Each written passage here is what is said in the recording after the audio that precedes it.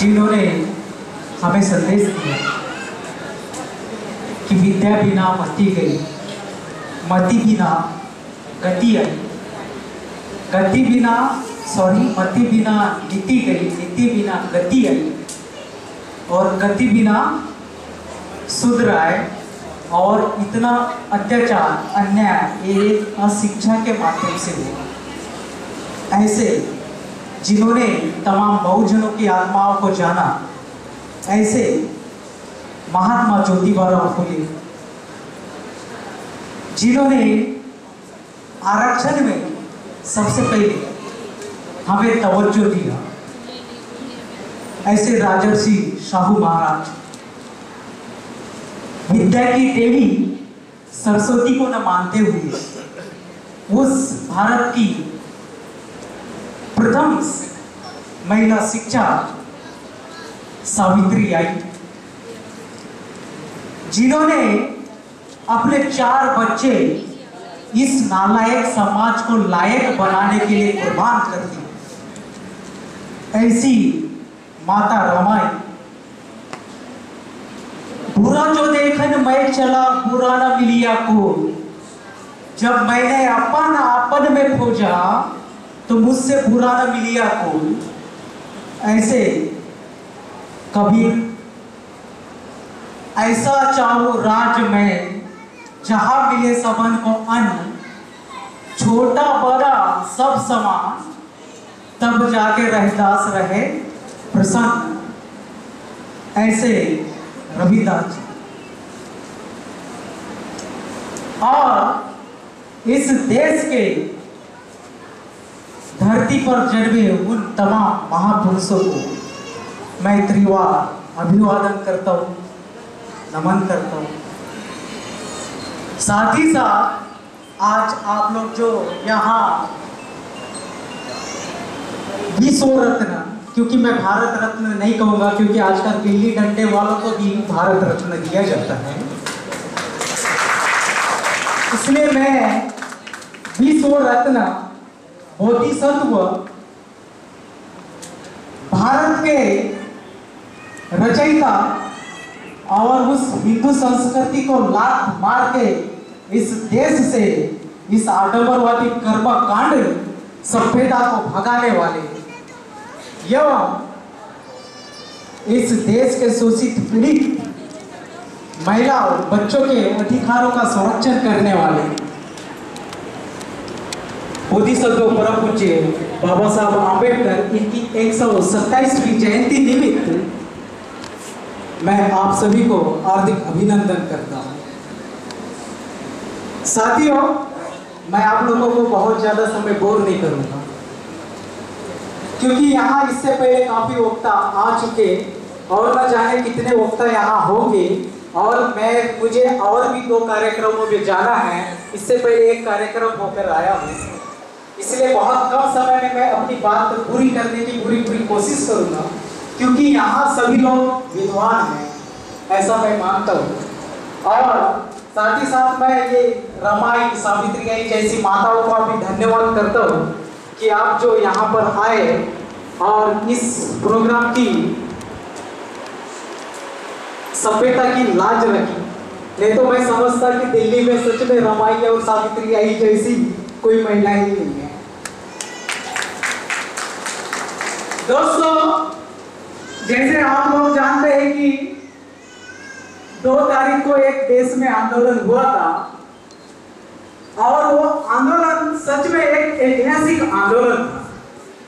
चाहे जिसने भी इस आंदोलन का आयोजन किया हो, चाहे वो निकम्मा दल्ला भरुआ, जैसे भी, ऐसे भी लोग हो सकते हैं, लेकिन मैं उन लोगों को भी सैल्यूट करता हूँ ये भी कहता हूँ इस मंच इस मंच के माध्यम से, क्योंकि उस कार्यक्रम ने देश में एक क्रांति लाई। और देश में क्रांति ऐसी लाई कि आपने देखा होगा कि दो तारीख को schedule caste schedule tribe caste के साथ अगर ओबीसी खड़ा नहीं था तो 10 तारीख को इन जनेऊधारी एंटीने धारी लोगों के साथ ओबीसी खड़ा नहीं था। आपने देखा होगा। इसका मतलब है कि देश में कहीं ना कहीं क्रांति आ रही है। लेकिन यही क्रांति मंडल आयोग के समय इस देश में आई थी। मैं बाबा साहब की बात ना करते हुए, बाबा साहब के विचारों की बात रखूँगा, क्योंकि मैं बाबा साहब को मानता नहीं, मैं बाबा साहब की मानता हूँ। इसलिए यही जो एकता, इस देश में जो भाईचारा की बात, इस देश में मंडल कमीशन आयोग के द्वारा इस देश में भाईचारा स्थापित करने की कोशिश की गई थी। और माननीय कांसीराम साहब ने इस देश में नारा दिया था कि मंडल आयोग लागू करो। यस मंडल आयोग लागू करो, वरना कुर्सी खाली करो। और उन तमाम ओबीसी हो अदर बैकवर्ड कास्ट के लोगों को मान्यवर कांसीराम साहब ने जोड़ने का काम एक धारे में धा, एक धागे में पिरोने का काम मान्यवर कांसीराम साहब ने किया। लेकिन हुआ क्या? क्या S C S T act Congress ने ही हमारे संरक्षण के लिए लागू किया था? प्रश्न। क्वेश्चन मार्क या फिर उससे पहले 1955 में सिविल सर्विस एक्ट कुछ लाया था? Civil civil protection act. इस देश में बाबा साहब ने संविधान में इंक्लूड किया था। लेकिन वही S C S T act Congress को इस देश में शेड्यूल कास्ट के लिए लागू करने की क्या ज़रूरत पड़ी? सोचने की बात। लेकिन इस कमबख्त कांग्रेस ने इसलिए एस एक्ट का हमें लॉलीपॉप दिया क्योंकि हमारे साथ हमारा ही भाई ओबीसी आ रहा था। और जब हमारा भाई ओबीसी हमारे साथ आ रहा था और जिस दिन, इस देश में बहुजन समाज की संकल्पना पूरी होते हुए इन बंधुवादियों ने देखा तो इन्होंने S C S T act यहाँ लागू किया और हमें फिर से ओबीसी से दूर किया और दूर बांटने का काम करने के साथ साथ हमें कभी एक नहीं होने दिया। यह है S C S T act हमें सोचने और समझने की बात हम लोग भक्त न बनकर अनुयायी बने। बाबा साहब को भक्तों की ज़रूरत नहीं थी। जय जयकार लगाने वालों की ज़रूरत नहीं थी।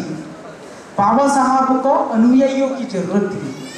क्योंकि कार्ल मार्क्स जब मरा तो उसके साथ उसके कितने अनुयायी थे?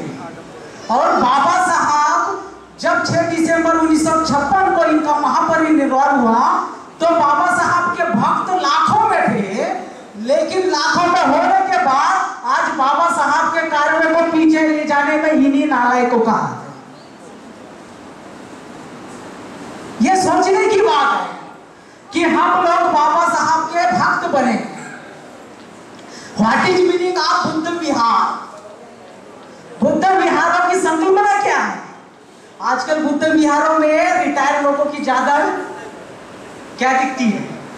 संख्या दिखती है। उस रिटायर आदमी की संख्या ज़्यादा दिखाई देंगी जिसको कभी बाजू के झोपड़ी वाले का ख्याल ही नहीं था पूरी ज़िंदगी भर उसने बाजू में उसकी झोपड़ी वाले घर में जो परिवार रहता था कभी उसने देखने की कोशिश नहीं किया। किक मारा। उसके घर तक भी देखने की कोशिश नहीं किया। तिरछे मुँह अपने ऑफ़िस ऑफ़िस से घर घर से बीवी, फिर से ऑफ़िस, फिर से वो। लेकिन रिटायरमेंट के बाद उसे धर्म की ज़रूरत होती है। बुद्धा की ज़रूरत होती है। चलो बुद्धा की ओर। या फिर उसे फिर बाबा साहब का मिशन याद आता है पे बैक टू सोसाइटी क्या क्या है पे बैक टू सोसाइटी सिर्फ़ आपकी जेब खाली होनी चाहिए या फिर आपने उस सोसाइटी में टाइम, टैलेंट, ट्रेजर देना चाहिए? यह है पे बैक टू सोसाइटी। ओनली अगर आपने समाज में पैसा दिया और पैसा देकर अपने हाथ ऊपर करके जवाबदारी से खसक के निकल गए तो ये आपकी पे बैक टू सोसाइटी नहीं होगी। तो मैं एस सी एक्ट पे बात चल रही थी तो एस सी एक्ट इस देश में इसलिए लागू किया गया और उसके बाद में आपने देखा होगा कि 2004 में इस देश के इन शेड्यूल कास्ट के लोगों की आँख खुलती है। क्यों खुलती है? क्योंकि इस देश में नाजायज संस्था से बड़ी बीजेपी 2004 में आती है और कहती है कि संविधान समीक्षा। तब जाके इस समाज के मुद्दों की आँख खुलती है। बोले, संविधान समीक्षा तो भाई, ये हम लोग नाली से लेके एसी तक पहुँचे। फिर से एसी से लेके नाली तक पहुँचने वाली बात? नहीं नहीं, गलत। विरोध किया इस समाज ने। फिर उसके बाद वो बीजेपी में बीजेपी बीजेपी के नुमाइंदे कहते हैं कि हम इस देश में तिरंगे की जगह क्या लाएँगे? भगवा लाएँगे? फिर लगता है भाई। ये तो सम्राट अशोका का जो काल था, शायद ऐसे ही मिटाया गया होगा। सोचने की बात है, फिर उनका एक एजेंडा आता है कि सौ साल पूरे होने पर हम क्या करने वाले इस देश को? हिंदू राष्ट्र घोषित करना है। अगर मैं बहुत ज़्यादा पका रो बोर कर रो बोल दीजिएगा। ओके सर लग रहा था। तो एक्चुअल पाँच मिनट लूँगा। उसके बाद आप सोच सकते हैं कि 2007 से 2007 से इस देश की तमाम उन क्षेत्रीय पार्टियों को चुना गया। मौका दिया गया। और मौका देने के बाद ऐसा क्या चमत्कार होता है कि 2014 में भाजपा का फूल खिलना चालू करता है? और ऐसा फूल खिलता है कि मुरझाने का काम लेता ही नहीं। चाहे आप प्लेन में जाए ट्रेन में जाए, जहाँ जाए जहाँ जाए, आप देखेंगे कि वहाँ पर भाजपा के किसी भी इंसान की कोई तारीफ़ करते हुए दिखाई नहीं देगा। लेकिन फिर भी भाजपा आ ही रही है आ ही रही है।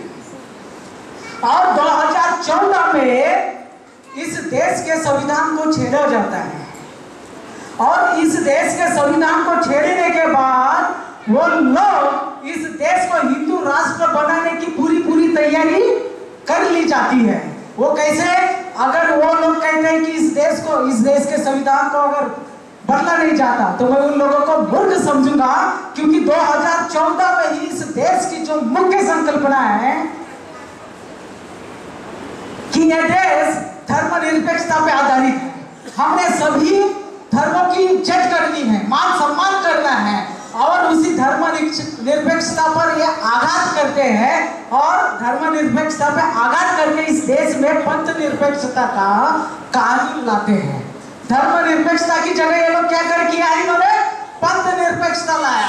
अगर धर्म निरपेक्षता होता तो क्या यह देश हिंदू राष्ट्र बन सकता है? नहीं बन सकता। लेकिन ये देश में अगर पंथ निरपेक्षता लागू होती है तो इस देश को हिंदू राष्ट्र बनाने से आप हम कोई भी नहीं रोक सकता, क्योंकि धर्म एक होगा, बाकी उसकी शाखाएँ होंगी ये सब चाहिए। और आपने देखा होगा कि बीजेपी ने इतना अच्छा चमत्कार है इतना अच्छा अचीवमेंट कर लिया कि हर जगह मोदी मोदी मोदी चल रहा है। ये बोलने की बात है सर, मुझे प्लीज़ बोलने दीजिए। अगर आप अभी नहीं जागे तो आपका, आप सम्राट अशोक के काल को तो मिटा दिया गया, आप मूली की खेती नहीं है। इस देश में। कहने का मतलब है कि 2014 से एक गेम चालू हुआ। और जब 2014 से गेट चालू हुआ तो 2019 में भी ये तख्ता पलटने की तैयारी में है, क्योंकि अगर ये क्वार्टर फाइनल था 14 तो 2019 सेमीफाइनल होगा और सेमीफाइनल के बाद जो सेमीफाइनल जीतेगा, उसी का फाइनल होगा, उसी की ट्रॉफी होगी। और ये लोग 2025 के लिए काम कर रहे हैं, क्योंकि उन्हें उनका उद्देश्य दिख रहा है कि इस देश को हिंदू राष्ट्र बनाना और आप लोगों को क्या दिख रहा है? वेल एजुकेशन और वेल क्वालिफिकेशन में क्या अंतर देख रहे हैं? आप अपने बच्चे को क्यों पढ़ा रहे हैं कि आपका बच्चा 10 20 50 हज़ार की नौकरी करे और बाद में वो आप उसकी शादी करे और आप उसके लिए पचास लाख, एक करोड़ करोड़ रुपए की बिल्डिंग बनाए और बाद में उसके बाद आपको, आपके बुढ़ापे में आपका ही बच्चा स्टोर रूम दिखाए और मखमल पे के गद्दे पर कौन सोए? आपका बच्चा और आप सोचो कि आप लाखों का घर जिस बच्चे के लिए तैयार कर रहे हैं जिस बच्चे के भविष्य की बात कर रहे हैं आप यहाँ वो बच्चा आपको स्टोर रूम में रखने वाला है या फिर क्या करेगा? वृद्धाश्रम में भेजेगा। इस देश में वृद्धाश्रमों की बहुत ही ज़्यादा वृद्धि होती है सोचो क्या बात कर रहे हैं? वेल एजुकेशन और वेल क्वालिफिकेशन में आप अंतर समझ लीजिए। तब जाकर अगर आप अपने बच्चे को वेल एजुकेशन देते तो सच में आपका बच्चा इस सभा में, इस कार्यक्रम में मौजूद होता। लेकिन आप अपने बच्चे को वेल एजुकेटेड नहीं कर रहे वेल क्वालिफाइड कर रहे ये समझ चाहिए। आप लोग अपने ही लिए अपना गड्ढा खोद रहे हैं। ये मेन एक्टिव सोसाइटी नहीं। तो साथियों मैं आप लोगों से गुजारिश करना चाहता हूँ।